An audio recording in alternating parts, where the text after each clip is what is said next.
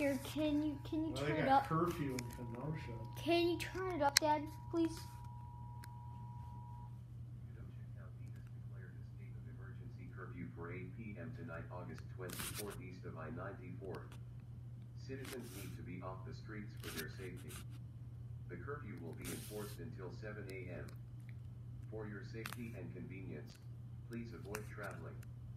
Thank you for your patience and cooperation. What the fuck?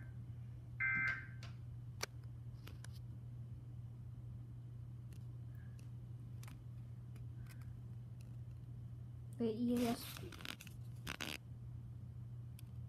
monitoring patients in hospital.